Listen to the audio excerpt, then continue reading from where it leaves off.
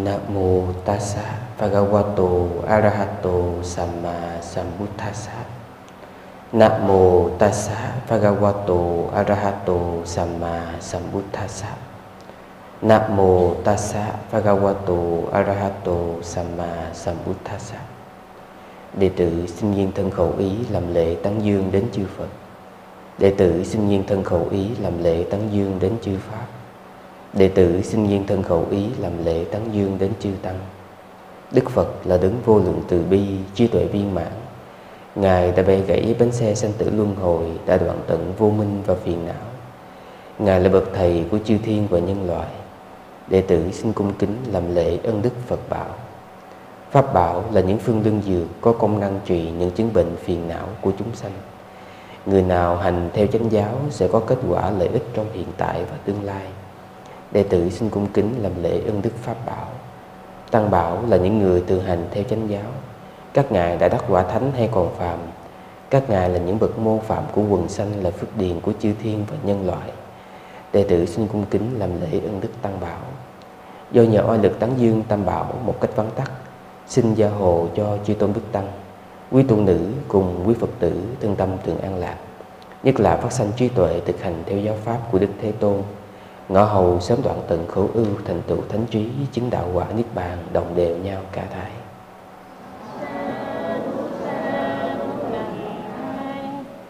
thưa quý vị à, xin được biết thì có một vài à, à, phật tử à, một vài vị thiền sinh à, tham dự khóa thiền này phải nói là rất là mới à, mới đến mức mà mình cũng ờ, chưa có hiểu nhiều về à, đạo Phật nói chung và Phật giáo Nam Tông nói riêng. À, thì ngày hôm nay à, sư sẽ dành một buổi để sư giới thiệu cho quý vị có một cái nhìn à, tổng quan à, chung. Dạ. Thì à, chúng ta đến đây thì chắc chắn là tất cả mọi người à, đều theo đạo Phật rồi tuy nhiên thì cũng sẽ có hiếm hoi một vài vị à, theo các cái tôn giáo khác và có cái sự à, cảm mến đạo Phật. Thì như vậy đó chúng ta gọi à, đây là đạo Phật. Như vậy đạo Phật là gì? Nếu mà nói theo cái kiểu của à, tách chữ của Hán Việt à, à, thì đạo có nghĩa là con đường. À. còn phật, tức là Buddha, tức là sự giác ngộ. Đạo phật là con đường đưa đến sự giác ngộ.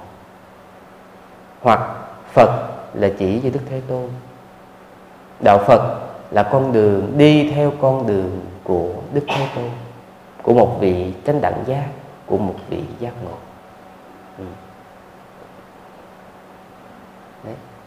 Thì chúng ta có thể hiểu một cách đơn giản như thế.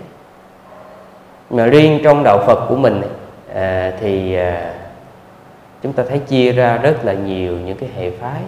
À, à ở Việt Nam mình thì có những cái hệ phái lớn à, Nam Tông, Bắc Tông, rồi Khất Sĩ, à, rồi ở à, Nam à, ở Bắc Tông thì có thể chia ra làm à, Hoa Nghiêm Tông, thiên thai tông tịnh độ tông mật tông thiền tông. Đó. Thì chia ra làm rất là nhiều. Ngay cả trong thiền tông thì cũng chia ra rất là nhiều dòng. Ừ. nhưng mà tụ chung lại á, để mà tất cả làm việc được với nhau tất cả các cái tông phái làm việc được với nhau thì à, chúng ta phải có một vài cái sự thống nhất. À, sự thống nhất này đó là khi mà Phật giáo thế giới à, hợp lại với nhau thì à, thống nhất lại một vài cái điểm chung. Thứ nhất đức giáo chủ là à, đức phật Gautama của chúng ta. Đây là vị phật có thật được thế giới công nhận. Một nhân vật bằng xương bằng thịt có thật đã từng tồn tại đó. còn nếu như anh muốn tín ngưỡng một vị phật nào khác thì đó là quyền của anh. Nhưng chúng ta đều phải công nhận đức giáo chủ của chúng ta chính là à, đức phật của gautama. Và cái thứ hai chính là giáo lý nền tảng giáo lý cốt lõi của phật giáo chính là tứ đế anh có muốn tu cái gì anh muốn chế cái gì anh chế. Nhưng mà à, từ à, à nam tông bắc tông rồi à, à, cao đã à, cao đẳng có à, rồi à, tất cả các cái à, chi nhánh tất cả các chi nhánh.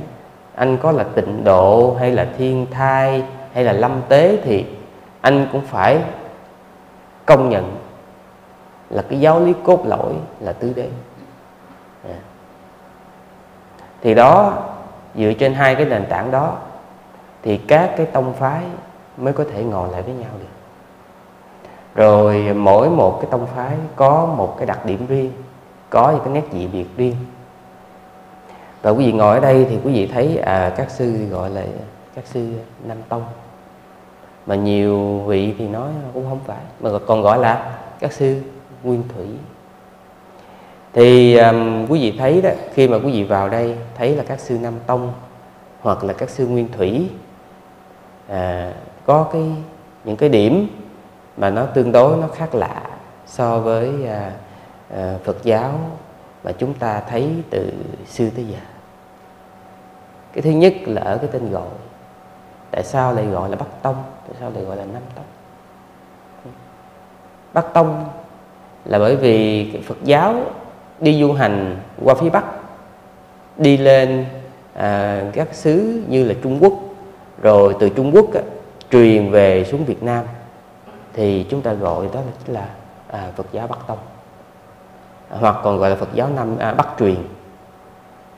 Còn à, cái nhánh phật giáo mà đi về phía nam à, như là Sri Lanka, à, Miến Điện, à, Lào, Campuchia, Thái Lan thì sau đó đưa qua Việt Nam do ở phía nam của Việt Nam cho nên chúng ta gọi là Nam Tông. Cho nên cái Bắc Tông và Nam Tông nó chỉ à, là cái tên gọi ở Việt Nam mình thôi. À, còn ngoài ra thì à, à Phật giáo à, Bắc Tông thì còn có tên là Phật giáo phát triển còn à, Phật giáo Nam Tông thì còn có tên là Phật giáo Nguyên Thủy. Do cái chủ trương cái đường lối phát triển à, của hai cái nhánh chính này đó là à, khác biệt với nhau. Khác biệt à, kể từ thời kỳ kết tập tam tạng lần thứ hai. À, chính là à, có nhiều vị thì muốn à, phát triển lên để à, hòa nhập để hòa hợp để phù hợp với cái đời sống mới với cái à, nền văn hóa bản địa nền văn hóa địa phương. Đó. Rồi từ đó à, phát triển thêm những cái à, tư tưởng những cái nền tư tưởng mới những cái học thuyết mới những phương pháp tu mới. Thì từ đó à, gọi đó là Phật giáo phát triển mà còn đôi khi còn thẩm xưng là Phật giáo đại thừa. À, còn à, Phật giáo um, à, Nam Tông thì các ngài à, chủ trương là Đức Phật dạy cái gì thì mình giữ nguyên như thế. À, thì quý vị thấy là có hai khuynh hướng hoàng pháp khác nhau. Một khuynh hướng hoàng pháp á, là phải à, mở rộng ra À, với quần chúng rồi à, à, phát triển những cái phương pháp tu mới để à, nó phù hợp với thời đại Đấy. còn một cái truyền thống thì giữ gìn mang khuynh hướng người ta hay còn gọi là bảo thủ là mình giữ gìn thời Phật ngài dạy cái gì ngài sinh hoạt ra làm sao ngài thì đã sách tấn cái gì ngài cấm cái gì ngài cho phép thì mình ráng giữ nguyên như thế thành ra là bây giờ ở Việt Nam mình chúng ta thấy có hai cái nền tư tưởng chủ yếu ở trong đạo Phật và các sư nguyên thủy thì như quý vị thấy các sư chủ trương giữ đúng càng nhiều càng tốt cái à, đường lối và cái chủ trương của Đức Phật đã đề ra. Các sư thì hạn chế tối đa cái sự tu theo tổ. Cho nên là quý vị thấy à, đối với Phật giáo à, Nam truyền, Phật giáo Nguyên Thủy rất hiếm khi nhắc tổ này tổ kia, hiếm lắm. Ừ. À, thậm chí là à, không có nhắc tới. Mà khi nhắc đến thì chỉ dẫn cái gì? À, dẫn kinh. Thường thì sẽ nói là à, trong kinh nói như thế phật nói như thế. Rất là hiếm phải nói là rất là hiếm trường hợp là ông thầy tôi nói như thế ông tổ tôi nói như thế. À tổ thứ năm thứ chín thứ mười nói như thế thì hầu như không có. Nếu như có thì cũng một vài trường phái hiếm. Ừ.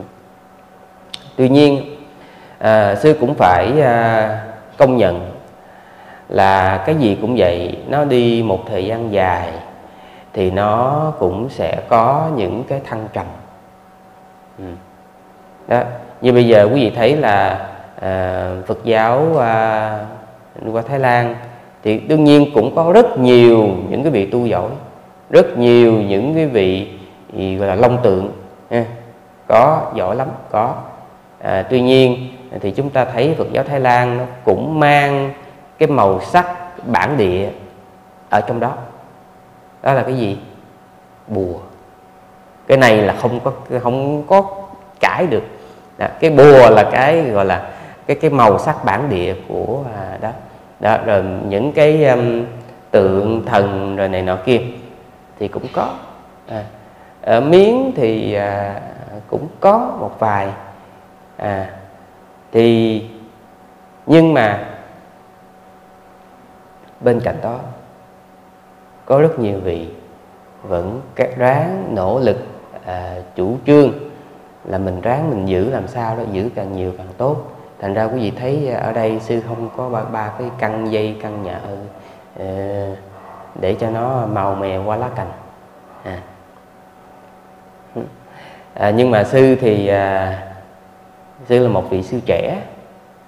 À, cho nên là cái khuynh hướng hoàng pháp của sư thì tương đối hiện đại. À, nhưng mà cái sự hiện đại của sư á, thì trên cơ sở là mình giữ gìn cái nét truyền thống càng nhiều càng tốt. Như vậy thấy là hồi Phật nha, thời Phật làm gì có vụ quay phim. Đó, quay phim nè rồi up lên YouTube đó rồi đưa lên trên Facebook đưa lên các cái nền tảng truyền thông. Đó là cái mà mình à, cần phải thích nghi trong cái thời đại mới. Tuy nhiên mình cần phải giữ đó là giữ cái gì? Giữ gìn lời phật dạy giữ gìn cái tư tưởng của đức phật. Giữ gìn cái nền tảng giáo lý giữ gìn cái giới luật. Có những cái mình mở được nhưng có những cái mình không nên mở. À. À, trong khi đó đó thì à, Phật giáo à, phát triển thì à, quý vị thấy là cái sự phát triển á, sẽ chủ trương sẽ rộng hơn các thầy à, rất là à, thoải mái và rất là à, sẵn sàng cho bất kỳ một cái sự thay đổi mới mẻ nào à, nếu như các thầy cảm thấy là nó phù hợp với chánh pháp. À, Phật giáo Nguyên Thủy thì hạn chế hơn nhưng mà các thầy thì mở hơn.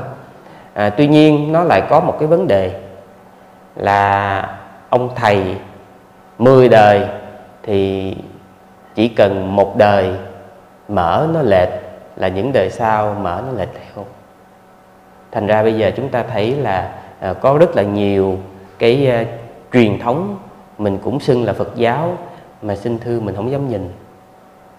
Ừ. Đó. Đó là lý do mà tại sao mà Phật giáo mình có nhiều cái vụ xì canh đan. Đó. Rồi trục dông rồi bắt hồn rồi cắt duyên âm rồi bùa rồi chú rồi phun nước phun mây rồi tùm lum tùm lá hết trơn đó trời. Đó.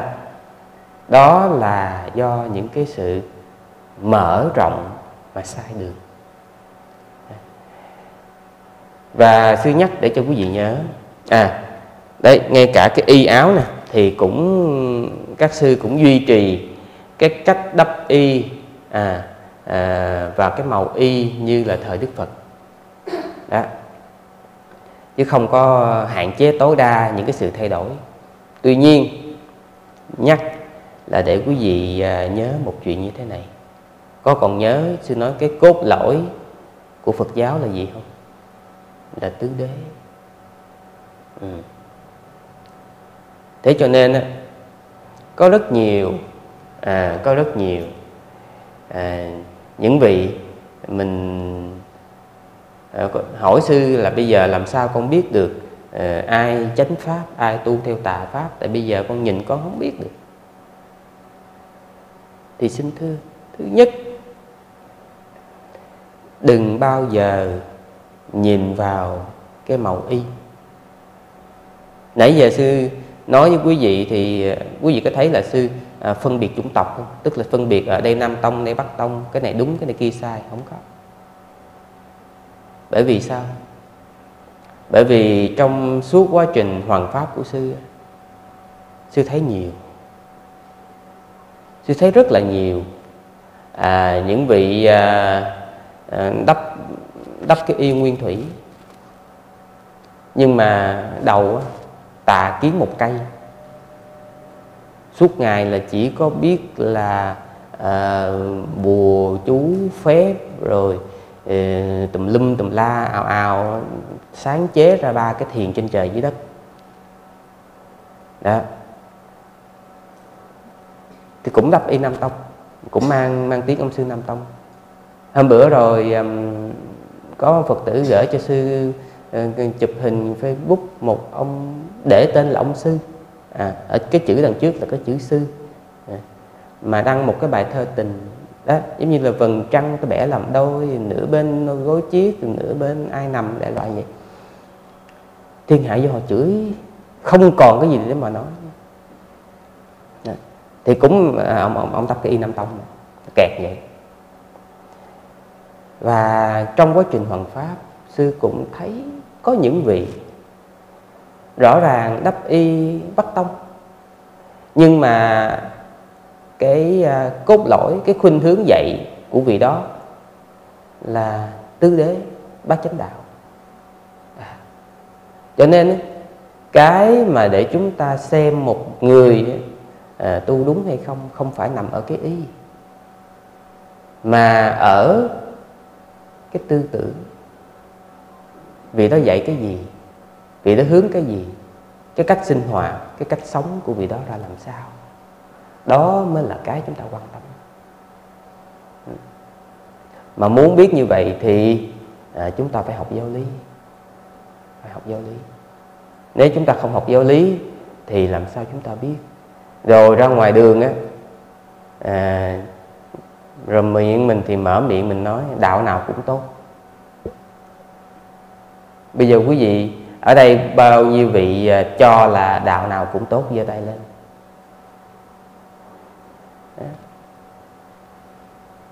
Tại vì sao? Tại vì chúng ta thấy đạo nào cũng hướng thiện. Đúng không? Nhưng cái vấn đề là do chúng ta không học giáo lý. Cho nên chúng ta không biết được cái thiện của mỗi đạo có cái tiêu chuẩn khác nhau.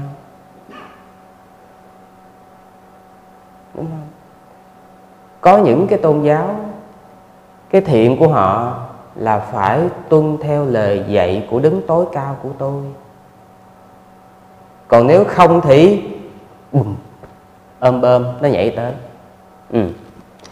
và thế là họ cho rằng như thế à, là họ được à, sanh về với cái đấng của họ. Và họ cho rằng đó là thiện. Rõ ràng bởi vì họ đã à, gọi là à, họ đã tiêu diệt được à, kẻ thù à, của họ và họ cho đó là thiện Đấy. đó là cái thiện của họ Đấy. rồi à, có những cái à, nền tôn giáo thì cho rằng à, nợ máu phải trả bằng máu ừ. quý vị nếu như quý vị có chịu đọc à, một số cái tài liệu tôn giáo gốc á quý vị sẽ thấy. À thí dụ như um, à, một người mà à, đánh chết một người thì phải trả trả trả nợ bằng cách gọi là nợ máu trả bằng lấy mạng đền mạng. Um, one by one. Có trong luật của họ có. Rồi um, trong rất nhiều cái nền tôn giáo cái chuyện là mình à, đánh bắt cá nè họ không coi họ không coi đó là một cái tội lỗi đúng không? Cái chuyện mà mình à, giết mổ nè họ không coi đó là một tội lỗi. Có nhiều nền tôn giáo cái chuyện uống rượu họ không coi đó là một là một tội lỗi. Phải nói là sư cũng nói nó hơi kỳ chứ còn sư cũng không có mặn mà lắm với cái đạo hồi nhưng mà sư nghe cái thông tin à, gần nhất ở à, bóng đá ở đâu bên khoa ta đó hình như là họ cấm à, cấm rượu. Coi như là cổ động viên tới thì cũng không có được nhậu nhẹt. Riêng cái đó sự ủng hộ à, à, nhưng mà à, cả thế giới họ lên án. Thì có một số cái nền văn hóa một số nền tôn giáo họ cho rằng cái việc uống rượu á nó không phải là một tội ác. À và sư mong là ở đây chúng ta không ai có suy nghĩ như thế. Tức là mình vẫn nghĩ rằng uống rượu không phải là một tội ác. À. đấy, thấy chưa? Cho nên sư mới nói, cái tiêu chuẩn về thiện của mỗi một tôn giáo không có giống nhau. Cái tiêu chuẩn cái gì là điều lành của mỗi một tôn giáo không có giống nhau thành ra cái câu nói đạo nào cũng tốt là một câu nói xã giao. Chứ nếu như mình nghiêm túc á, thì mình phải xét lại. Trong tư tưởng của đạo phật để được gọi là tốt thì chúng ta có nhiều cấp bậc. Thứ nhất là ở cấp bậc của người cư sĩ tại gia. Cái tốt ở đây là gì? Đó là có lòng hào sản biết thương người, biết cho ra, biết chia sẻ.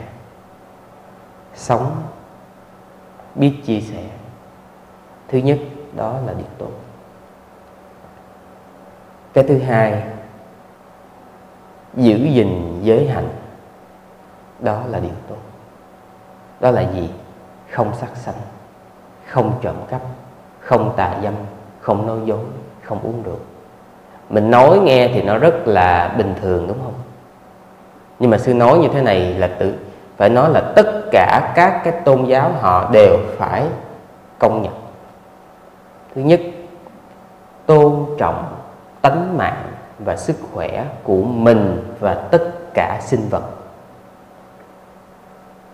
Đúng không? Cái thứ hai, tôn trọng tài sản của mình và người khác.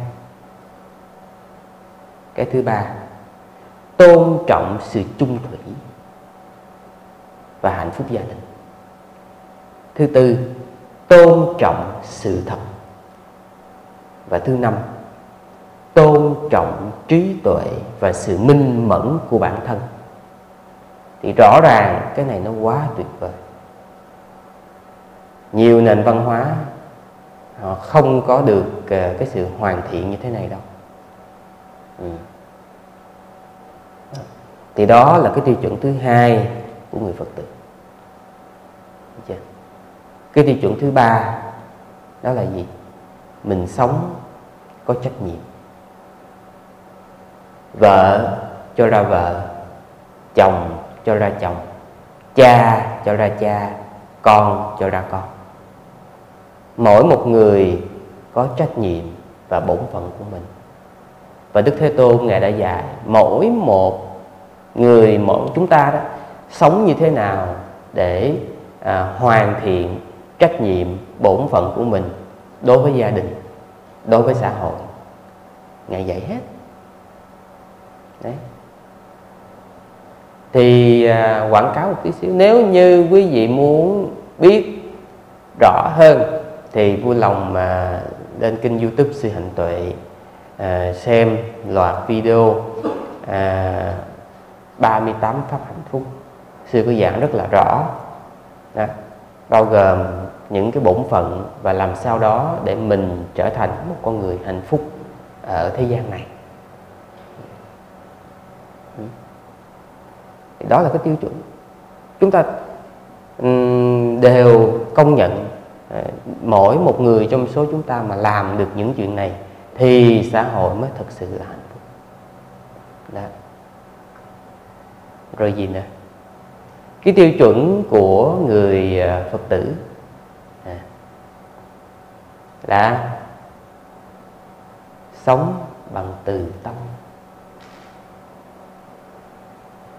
Cái đầu tiên á, là mình nỗ lực mình chia sẻ tức là sự bố thí cái thứ và cái thứ tư chính là sống bằng từ tâm.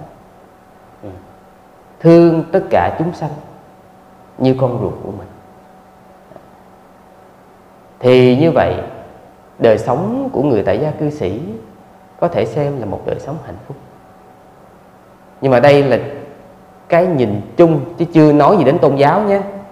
À, những cái chung xin nói nãy giờ là chưa dính dáng gì đến tôn giáo những cái mà dù cho anh có là đạo chúa đạo hồi đạo ổi đạo khoai đạo gì đi chăng nữa thì anh vẫn nên công nhận những thứ đó. Đúng không? Vẫn nên công nhận những thứ đó. Thứ nhất là mình hào sản mình biết chia sẻ những cái mình có. Thứ hai mình biết giữ gìn cái phẩm hạnh.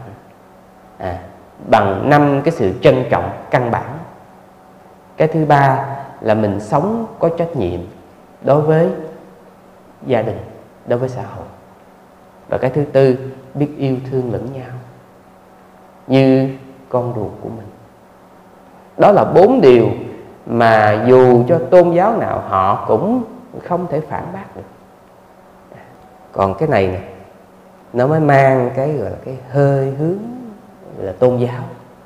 Để chúng ta có thể gọi chúng ta là một người phật tử bởi vì nếu như chúng ta có những thứ trên mà không có những thứ kế tiếp này nè, chúng ta kêu tự nhận mình là phật tử thì nó kỳ cục lắm đó là cái gì thứ nhất,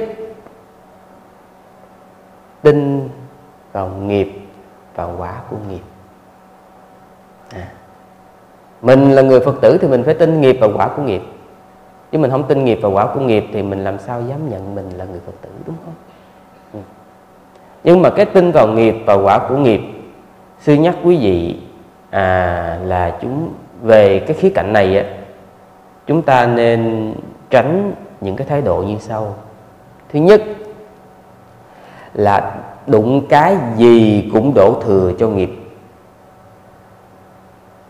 À, tức là à, nghèo là do nghiệp mà giàu cũng do nghiệp dốt là do nghiệp mà khôn là do nghiệp dạy cũng do nghiệp. À, mà như thế nào cái giống khỉ gì cũng do nghiệp hết. Thì đó là một cái um, suy tư chưa chính xác mà đức thế tôn ngài nó quở không có nên suy nghĩ như thế. Nghĩ như thế là đang phỉ bán đức thế tôn. Bởi vì sao? Bởi vì à, ngài nói đó không thể vì nghiệp mà một người trở thành kẻ sát sanh. Không thể vì nghiệp mà một người trở thành kẻ trộm cắp. Không thể vì nghiệp mà một người trở thành kẻ tà hạnh trong các dục. Thì lấy ví dụ nha bây giờ có một cái à, nhẫn vàng à, rơi ở trên để ở trên đây. Ừ. mình nhìn thấy thì cái quyết định có lấy hay là không là do mình, chứ đừng có đổ thừa do nghiệp. Cái chuyện nghèo à cái hoàn cảnh mình nghèo là chuyện của mình, nha. Mình thất nghiệp, mình đói bụng, đó là chuyện của mình. Nhưng mình thấy cái đồ người ta chưa có cho, mình có chụp hay không thì đó là quyết định của mình, chứ đừng có đổ thừa cho nghĩa đúng không phải rõ ràng cái sự kiện này nha. Những cái quyết định ở cuộc đời là mình quyết định chứ không phải là cái nghiệp nó chọn. Nè chỉ có như thế này là cái nghiệp nè. À, như là một vị à, cư sĩ buổi sáng ngày hôm đó khi ông đang rửa mặt à, đó là cái giờ mà cái giờ mà trời tờ mờ sáng á. Ừ. ông đang rửa mặt như thế cái tên ăn trộm, nó chạy ngang qua, nó bị dân làng đuổi sát quá. Nó quýnh quá, nó quăng cái túi vàng ngay trước mặt anh này. Nó chạy mất. Anh này đang rửa mặt, ảnh vừa mới ngước lên thì thấy nguyên cái bịch nó quăng ngay trước mặt mình. Ảnh chưa biết cái gì hết. Thì dân làng chạy vừa đuổi kịp tới lúc là gô cổ anh này và không cho anh này kịp phân minh xét xử, lôi cổ đi xử cái tội ăn trộm. Và thế là hành quyết anh này thì cái đó đúng là do nghiệp. Mà mình gọi là à, họa từ trên trời rơi xuống. Tự nhiên ở đâu nó tới. Mình không có quyết định cái cái sự kiện đó thì cái đó là do nghiệp. Ừ. chứ còn ờ, để cái túi tiền trước mặt ờ, mình ngứa tay quá mình đụng lỡ ờ, mình đụng vô mình lấy đổ thừa cho nghiệp không phải. Nhớ dùm cái cực đoan đầu tiên là mình phải tránh, đó chính là cái gì cũng đổ thừa cho nghiệp. Ừ. rồi, nghèo có phải do nghiệp không? Đúng là do nghiệp, thành ra mình nghèo. Nha. Nhưng không phải tất cả cái nghèo đều do nghiệp. Tại vì có những cái nghèo là do lười có những cái nghèo là do à, cái sự nỗ lực trong hiện tại của mình. Ví dụ như à, mình à, thấy người ta đầu tư ba cái lan đột biến mình tham mình gom tiền mình mượn người này mình mượn người kia mình mượn đầu trên mượn sống dưới mượn ngân hàng vay tùm lum hết mình đổ vô cái lan đột biến rồi tới hồi nó sụp. Mình mất trắng mình đổ thừa chắc do nghiệp. Nó tầm bậy. Cái đó là quyết định của mình. Mình đầu tư sai ha. Đó. Hoặc là mình đầu tư vô cái đồng tiền ảo. Mê quá mà người ta một đêm người ta nhân lên gấp 10 gấp 20 lần. Giàu to mình nhảy vô. Thấy người ta đầu tư ừ, cổ phiếu ham quá mình nhảy vô. Rồi tới hồi à, mình không biết làm gì hết rồi nó à, phá sản đổ thừa cho nghiệp. Cái đó nghèo đổ thừa cho nghiệp nó không phải. Đó do mình nha do mình đã nỗ lực kinh doanh như thế nào đó chứ còn không thể nào đổ thừa cho nghiệp được. Đổ nghiệp là như thế này nè. Mình sanh ra trong một gia đình nghèo khó. Mình luôn luôn sống trong cái cảnh thiếu ăn thiếu mặc. Thì đó là do nghiệp. Cái nghiệp nó đưa mình đến cái hoàn cảnh mình sinh ra. À, à, thì đúng là cái đó do nghiệp rồi, rồi ngay cả cái chuyện à, à, mà giàu cũng thế. Anh giàu cũng không phải do nghiệp. Có những cái giàu do nghiệp nhưng có những cái giàu không phải do nghiệp. Giàu do nghiệp là sao? Mình sanh ra vào cái gia đình à giàu có. Coi như là mình giàu sẵn trong trứng này.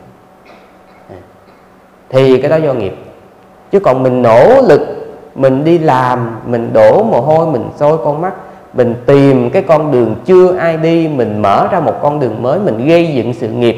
Đó mình chạy đầu này mình chạy đầu kia để mà mình à, có được tiền. Rồi sau một khoảng thời gian nỗ lực cố gắng bằng công sức của mình à, mình có được cái sự giàu sang sung túc.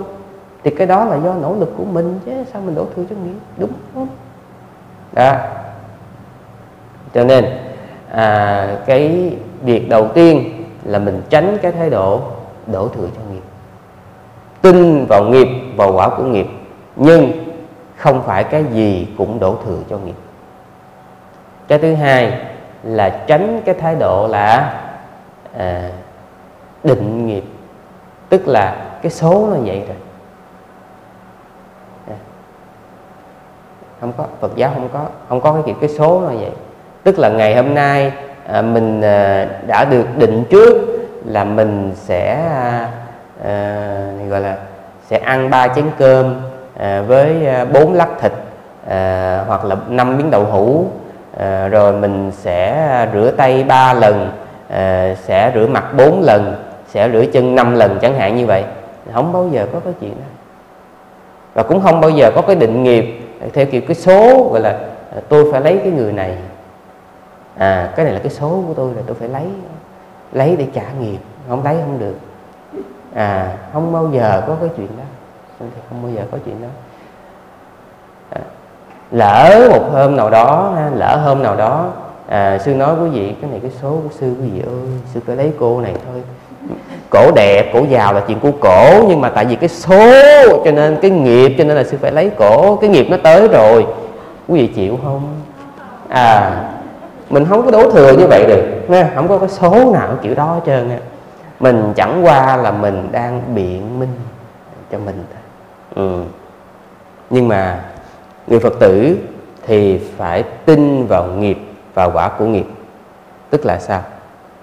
Nghĩa là bất kỳ một hành động nào của mình, dù là thiện hay bất thiện, thì mình đều sẽ nhận lãnh cái kết quả mà nó mang lại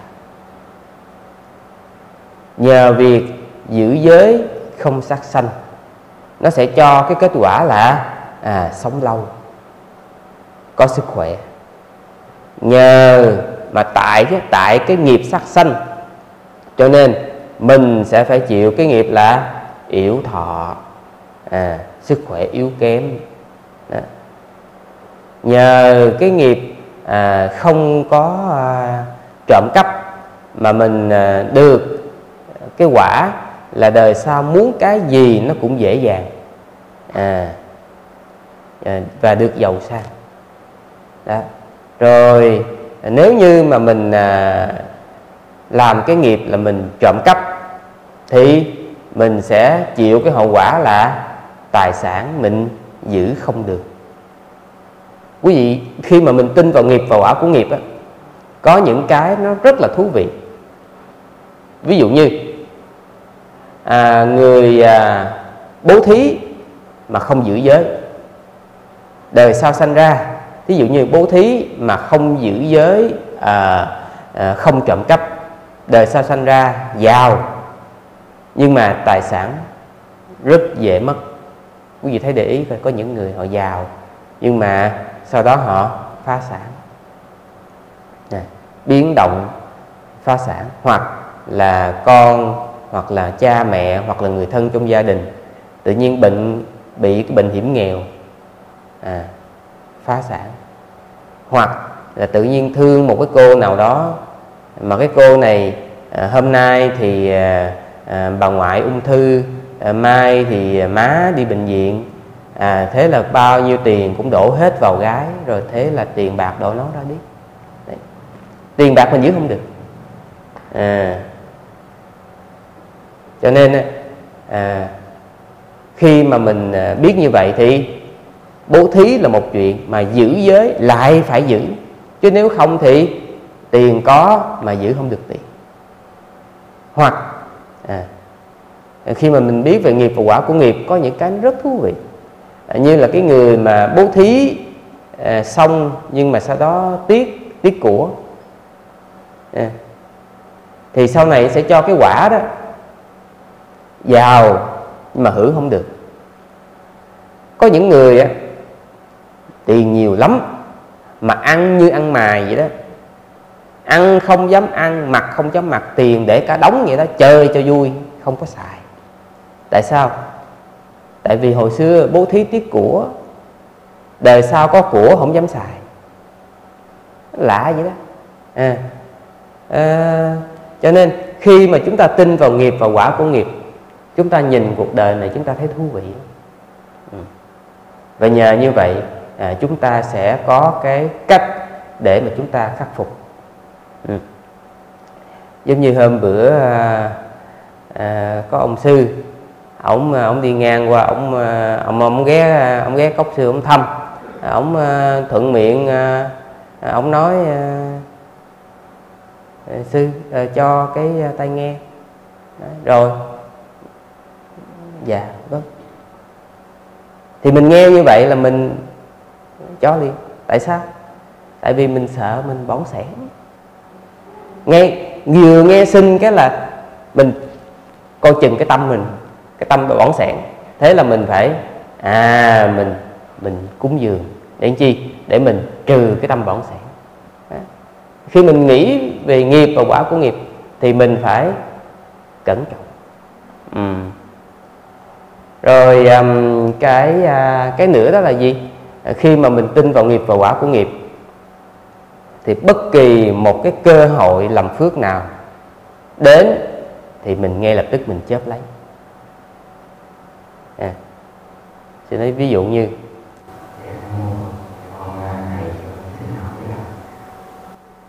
ví dụ à, mình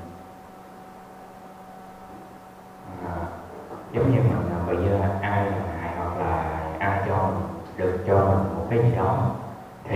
cái đó là nghiệp mình được nhận vào hay là nghiệp mình phải bị như vậy? Nhưng ừ. mà đến khi mình làm hoặc là mình cho ai đó thì cái đó không được gọi là nghiệp mà cái đó gọi là nợ rồi rồi. Quý vị phân biệt dùm nha. À, cái chuyện mà mình bị à, người khác à, tác động á thì à, không phải lúc nào cũng đổ thừa cho nghiệp ví dụ à, à, về cái cái à, gọi là cái bệnh đi hoặc là về cái sự tổn thương nói chung. Nó có những cái nguyên nhân như sau. Một à, là do thời tiết. À, ví dụ như thời tiết cho nên là mình bị cảm mình không thể nào nói vô nghiệp được. Một do thời tiết. Hai là do thực phẩm ừ. ăn uống như thế nào đó. À, à cái thứ ba à, là do các cái sự biến động ở trong nội tạng của mình. À, thí dụ như tim không làm việc phổi không làm việc ruột gan không làm việc hoặc nó làm việc một cách bất thường thì cũng không thể đổ thừa cho nghiệp. Cái thứ tư à, là do à, phi nhân tác động. Ví dụ như à, mình à, à, phi nhân thì họ có người họ thương mình có người họ ghét mình họ tác động vào mình thì cái đó cũng không phải do nghiệp. Cái thứ năm là mình bị cái kẻ khác tấn công. Đó ví dụ như anh đó bây giờ à, một cái anh nào đó anh chạy tới ảnh à, ảnh đánh mình thì cũng không có đổ thừa cho nghiệp. Nha. Và cái điều cuối cùng cái khả năng cuối cùng thì mới là do nghiệp có những trường hợp như thế này nè. À, ví dụ như à, chúng sanh tự gây oan trái với nhau. À, như trường hợp ở trong à, chú giải pháp cứu có hai người à, vợ người vợ lớn và người vợ nhỏ. Người vợ nhỏ khi có con á, người vợ lớn sợ người vợ nhỏ à, đẻ con ra sẽ chiếm hết tài sản cho nên người vợ lớn làm cho người vợ nhỏ bị sảy thai. Từ đó à, người vợ nhỏ đâm oán hận à, thì cái sự mà tấn công như thế mình không thể đổ thừa cho nghiệp à, đó. cái người vợ nhỏ đó không thể nào nói không nói được là do nghiệp cho nên là người vợ lớn tấn công không phải. Mà do người vợ lớn à, ganh tị và sợ bị chiếm đoạt hết tài sản cho nên người vợ lớn mới tấn công người vợ nhỏ cho nên trong vai trò của người vợ nhỏ thì người vợ nhỏ không thể đổ thừa cho nghiệp được nha. Và người vợ lớn cũng vậy. Khi người vợ lớn tấn công người vợ nhỏ trong chú giải pháp cứu cái tích chuyện đó thì người vợ lớn cũng không đổ thừa cho nghiệp. Mà đó là do hai chúng sanh tự oan trái với nhau. À. nhưng mà qua cái đời à, sống tiếp theo thì nó lại trở thành nghiệp nè tức là khi mà cái người vợ lớn hại người vợ nhỏ, người vợ nhỏ chết và mang cái lòng oán hận, thì người vợ nhỏ sanh làm cái con mèo, người vợ lớn sanh làm con gà mái. Thì khi mà con gà mái nó đẻ trứng thì con mèo nó tới nó ăn. Con gà mái đẻ bao nhiêu trứng thì con gà, thì con mèo ăn bấy nhiêu trứng cho đến cuối cùng con mèo ăn luôn con gà. Thì cái tình huống con mèo nó ăn cái trứng và ăn luôn con gà đó, thì khi đó con mèo không thể đổ thừa cho nghiệp. Do con mèo quyết định cái chuyện có ăn hay là không. Nhưng con gà đó, nó là do nghiệp. Do đời trước, nó đã gây oan trái với con mèo, cho nên đời này con mèo trả thù. Cho nên trong trường hợp này thì với con gà đó, thì là do nghiệp. À, mà với con mèo thì do nó có sự chủ động nó quyết định cho nên nó không thể đổ thừa cho nghiệp. Thành ra sư quay trở lại trường hợp của chú. Chú ví dụ có người nào đó tấn công mình hoặc mình tấn công người khác thì nếu như người nào đó tấn công mình thì nó lại có hai trường hợp khả năng xảy ra. Khả năng thứ nhất là à do đời trước oan trái với nhau đời này gặp nhau họ trả thù. Thì trường hợp đó là do nghiệp. Nhưng khả năng thứ hai là do ngay trong đời này có cái vấn đề gì đó mà tự nhiên bây giờ mình mới oan trái với nhau. Tức là trước giờ mình hai người này chưa có dây mơ rễ má gì hết. Nhưng mà bây giờ tự nhiên là mình rồi mình chạy ngang qua mình vô tình mình dừng xe. À, mình chưa kịp tắt máy xe thì cái đèn xe rội vô mặt nó thế là nó nổi điên lên, nó nhảy nó đấm mình. À thì trong trường hợp đó thì mình không thể đổ thừa cho nghiệp. Ừ. còn cái trường hợp mình chủ động, mình tấn công người khác thì nhớ, có sự chủ động. Mình có cái chủ ý thì khi đó mình không thể đổ thừa cho nghiệp. Do đâu? Mình quyết định mà. Làm hay không làm? Đó là mình quyết định, cho nên không đổ thừa cho nghiệp. Ừ. Này. À, thì à, những cái à, mà quý vị thắc mắc á, xin nói hoàn toàn có thể à, hỏi vào cái các cái buổi vấn đáp. À, chúng ta còn hôm nay mới ngày 22 thôi. À, tới ngày 29 chúng ta còn các buổi vấn đáp nữa.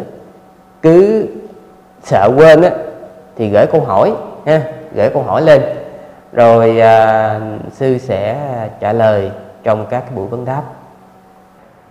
Và à, xin chia đều phần phước này đến tất cả chúng sanh. Mong cho tất cả chúng sanh được thọ hưởng tùy ý.